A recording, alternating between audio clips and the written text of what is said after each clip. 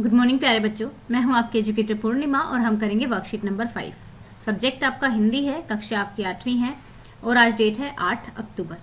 बच्चों, आज इस कार्य पत्रक में हम अपने पाठ्य पुस्तक वसंत के तीसरे पाठ, बस की यात्रा का प्रथम भाग पढ़ने जा रहे हैं। स्टूडेंट्स इतनी मज़ेदार ये पाठ है। इसको हम लाइव में पढ़ेंगे। कल मैं इस चैप्टर को पूरा पढ़ रही थी आपकी बुक से। तो मुझे इतनी हँसी आ रही थी इसको पढ़ के।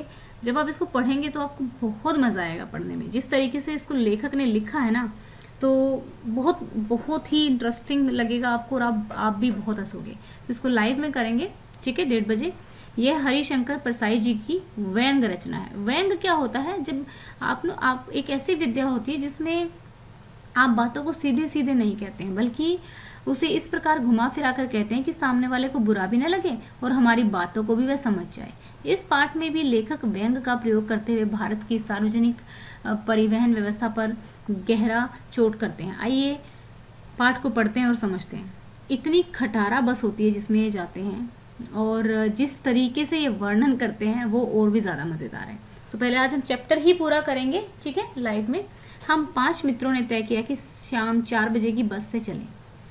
पन्ना से इस कंपनी की बस सतना के लिए घंटे भर बाद मिलती है, जो जबलपुर की ट्रेन मिला देती है। सुबह घर पहुँच जाएँगे। हम में से दो को सुबह काम पर हाजिर होना था, इसलिए वापसी का यही रास्ता अपनाना ज़रूरी था। लोगों ने सलाह दी कि समझदार आदमी इस शाम वाली बस से सफ़र नहीं करते। क्या रास्ते में डाकू मिलते हैं? उसने कहा, नहीं, बस डाकिन है। क्योंकि जो बस थी ना, वो इतनी इतनी खस्ता थी कि सारे आंदोलन कर देती है वो असहयोग आंदोलन सविन्य अवज्ञा आंदोलन। लेखक जब आप इस चैप्टर को पढ़ेंगे तो कहते हैं कि हमें ये नहीं पता था, बस जो है उसके सारे पुर्जे हिल रहे होते हैं, ठीक है? जब आप पढ़ोगे तो बहुत मज़ा आएगा। अभी आगे ये आपका चैप्टर चलेगा। कई दिन तक। बस को देखा तो श्रद्धा उमड़ रही, उमड़ पड़ी। खूब व्योवर्ध थी, यानी कि बहुत पुरानी थी। सदियों के अनुभव के निशान लिए हुए थे उसमें बहुत सारे निशान थे। लोग इसलिए इससे सफ़र नहीं करना चाहते थे कि वृद्ध अवस्था से में इसमें कष्ट होगा। यह बस पूजा के योग्य थी। उस पर सवार कैसे हुआ जा सकता है? ठीक है? तो ये एक व्यंग किया उन्होंने कि भाई इतनी पुरानी बस में कोई क्यों ट्रैवल करेगा, क्यों क्यों जाएगा?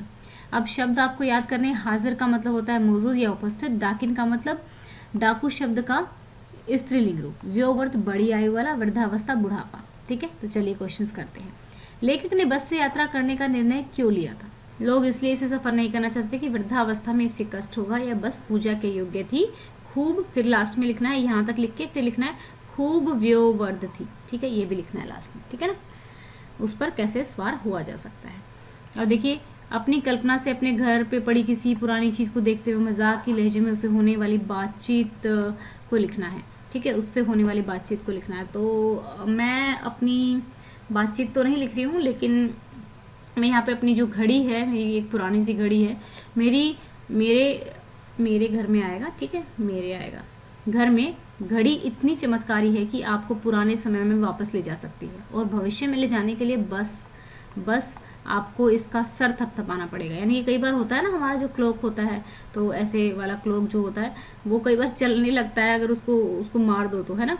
ऐसा होता है, ऐसे थोड़ा थोड़ा हिला तो चलने लगता है। तो ऐसे प्रकार की, इसी प्रकार के आप, आपको कोई कुर्सी लिख देना है, कुर्सी झूला झुलाती है, बहुत पुरानी है, इस तरीके से आपको लिखना है। ठीक है students thank you have a nice day may God bless you